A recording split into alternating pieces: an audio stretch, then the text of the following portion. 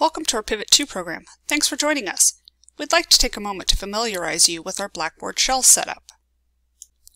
On the left-hand side is the navigation bar. Here you will see links to announcements, the calendar, learning content, your assignments, Zoominars, a content index, and finally a glossary.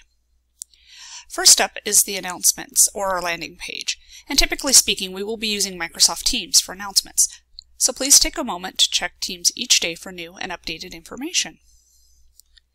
Next is the Start Here. On this page, we want to welcome you, tell you our goals for this program, introduce you to your facilitators and support people, share the calendar, and let you know what your next steps are. On the calendar link, you can view the schedule for each week. The following week's schedule will be posted by Friday. You should check the schedule daily for any changes and to review the next day's topics. This next section includes the learning content for this program.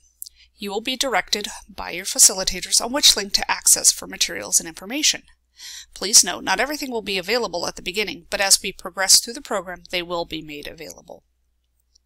Assignments is where you find your task instructions and also be able to turn them in. Zoominars will guide you to the links for each synchronous session, and this is also where you will find the recordings to any session you may want to review. Our content index allows you to easily find information you may want to review without having to remember what day it was presented on or what area it is in. And finally, our last link is the glossary, so that we are all working from the same definitions, and it also gives further information and resources on the terms that will be used throughout this program. Again, thank you for joining us, and we look forward to working with you.